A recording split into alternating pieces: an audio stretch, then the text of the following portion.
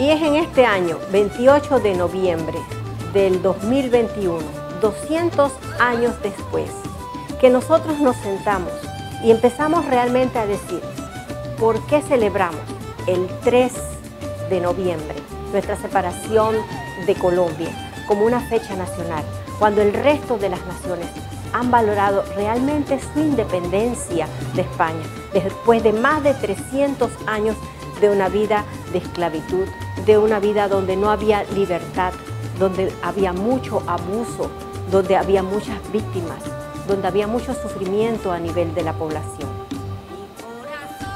Si nosotros vemos hacia adelante, tenemos que reconocer que como nación hemos logrado muchas cosas, pero aún todavía tenemos mucho por hacer.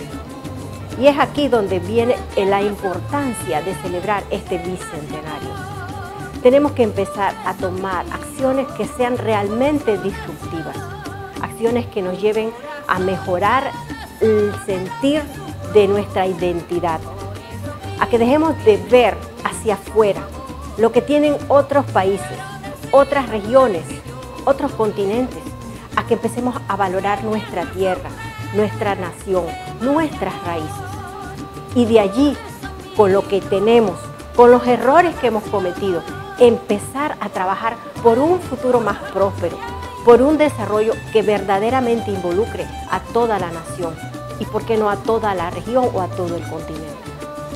Es allí donde tenemos que hacer un alto y aprovechar este tiempo para hacer cambios que verdaderamente impacten nuestra vida, la de nuestros hijos, la de los que están por venir. Te invito a amar realmente tu tierra, tu país, tu patria, nuestro Panamá. Y recuerda, nadie ama lo que no conoce.